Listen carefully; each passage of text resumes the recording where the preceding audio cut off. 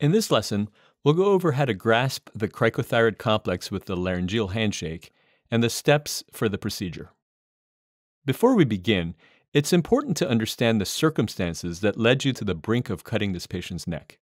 Most likely, you just sedated and paralyzed your patient and tried to intubate them and were not successful. You are now having trouble oxygenating your patient with a bag valve mask and other rescue equipment like a laryngeal mask airway.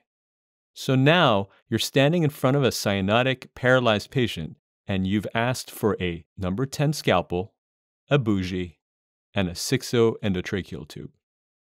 If you used succinylcholine for paralysis, your patient is about to start moving and doing the cric will be very challenging, so be prepared to give more succinylcholine.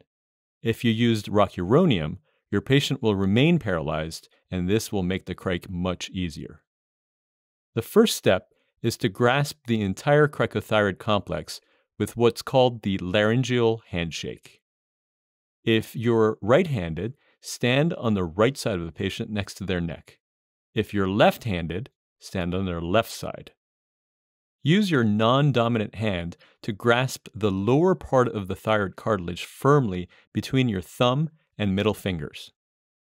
At the same time, Push the skin between your fingers down so that the next skin is taut and easier to cut. You should not let go of this position until your blade has entered the airway.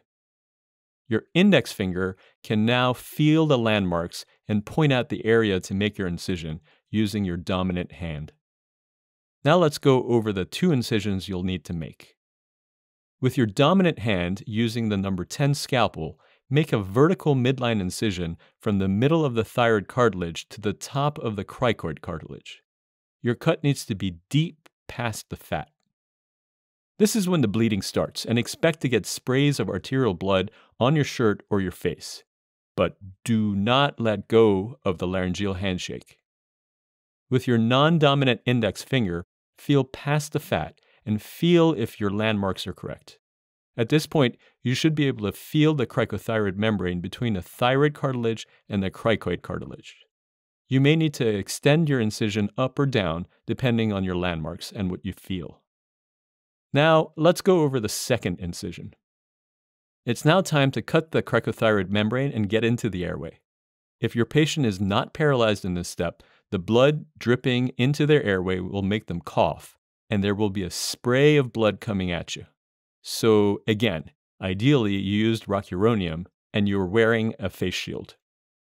Stab your number 10 blade past the cricothyroid membrane. Be very careful here.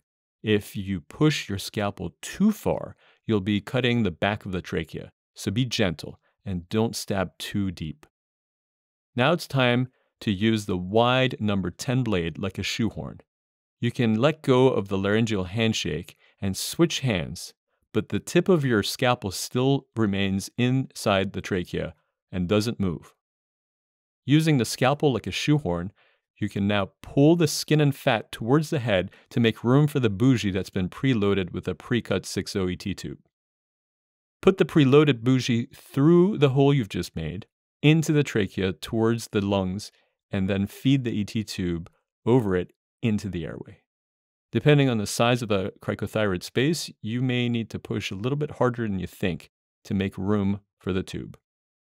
As soon as the balloon of the tube is in the trachea, you can stop and inflate the cuff. Remember, you're already below the vocal cords. You now have direct access to the patient's airway and can bag your patient. Be sure to hold on to the tube until it's secured. You can do this the same way that you secure an endotracheal tube. You will also need to hold some pressure on any bleeding vessels that are still pumping blood. Confirmation of proper placement is the same as a regular endotracheal intubation. Listen for breath sounds at bilateral axilla. Use the end tidal CO2 detector and get a chest x ray. Congratulations, you just performed a successful cricothyrotomy and saved your patient's life. So I hope you liked this video absolutely make sure to check out the course this video was taken from and to register for a free trial account which will give you access to selected chapters of the course. If you want to learn how Medmastery can help you become a great clinician, make sure to watch the About Medmastery video. So thanks for watching and I hope to see you again soon.